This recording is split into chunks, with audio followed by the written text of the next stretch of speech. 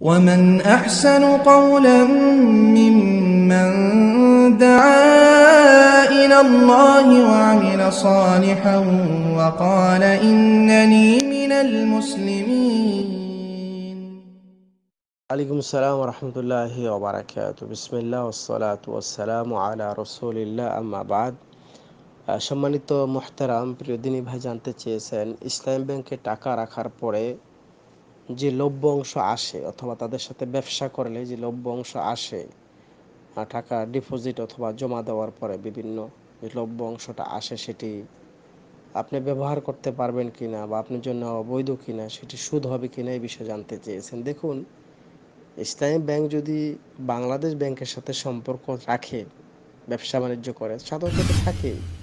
আর Bangladesh bank যদি বিশ্ব ব্যাংকের সাথে সম্পর্ক থাকে, পৃথিবীর যে কোনো ব্যাংক যদি বিশ্ব ব্যাংকের সাথে সম্পর্ক থাকে, তো এটা যেন ওই সম্পর্ক যেমনিভাবে সাগরের পানির সঙ্গে, নদীর পানির সম্পর্ক, নদীর পানির সঙ্গে আপনার বাড়ির খাল, বিল, পুকুরের পানির সম্পর্ক, ঠিক। কারণ ওসব বিশ্ব ব্যাংক বলেন, বাংলাদেশ ব্যাংক বলেন, এগুলো সুদের উপরেই চলতেছে হ্যাঁ?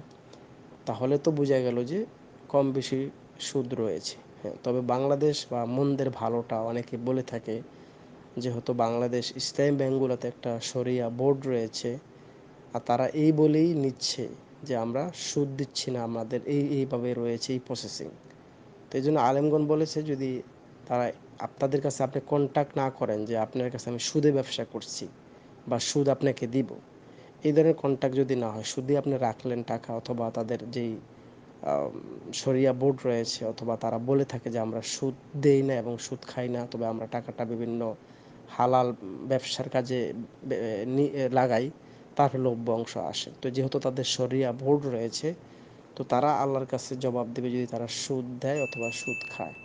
তো এই জন্য আলেমগঞ্জ, যেহেতু অনেক আলেমোলামা বাংলাদেশে জড়িত রয়েছে, বিশেষ করে বাংলাদেশের প্রেক্ষাপটে বলব। এই জন্যে তারা বলতেছে যে না, এটা আমরা সুদ দিই না, তবে আমরা বিভিন্ন কাজের ক্ষেত্রে ব্যবসাটা, ব্যবসা করি, টাকা দিয়ে, তারপর লভ্য অংশ আসলে কাস্টমারদেরকে দেওয়া হয়। তখন আলেমগঞ্জ বলেছে সেটা কাস্টমার নিতে পারবে অথবা এখন আমরা কি করতে পারি? মূল কথা। তো আপনি যদি মনে করেন যে না, এটা সুদ বা এটা আপনার জন্য খাওয়া বৈধ নয়, সেটি আপনি উঠিয়ে নিয়ে দরিদ্র অসুস্থদেরকে দিয়ে দিবেন বিপদ উদ্ধারের উদ্দেশ্যে।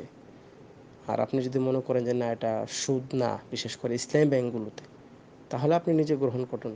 আর অন্য অন্য ব্যাংকগুলো তো যেহেতু তারা প্রকাশ্যে বলছে আমরা সুদ দিচ্ছি অথবা সুদ নিচ্ছি, সুদের উপরে প্রতিষ্ঠিত ওগুলোর ক্ষেত্রে তো আপনাকে সুদ আপনি খাওয়া ঠিক হবে না। যদিও আপনি বাইশেস টাকা রেখে দেন, তাদের লভ্য অংশ দেয়, তবে সেটি আপনি গ্রহণ করতে পারবেন না। সেটি আপনি বিপদ উদ্ধারের উদ্দেশ্যে মিসকিন গরিবদেরকে দিয়ে দিবেন। আর বাংলাদেশ ইসলামী ব্যাংকগুলো যেগুলো রয়েছে, সেগুলো যে লভ্য অংশটা আসে, সেটা আপনি নিতেও পারেন। আর যদি মনে করেন যে এটা আসলে সুদ, হারাম, তবে সেটা আপনি গরিব মিসকিনদের মাঝে বিলি করে দিতে পারেন। আশা করি বুঝতে পারলেন। জাজাকাল্লাহ খাইর أشرقت نفسي بنور من فؤادي حينما رددت يا رب العباد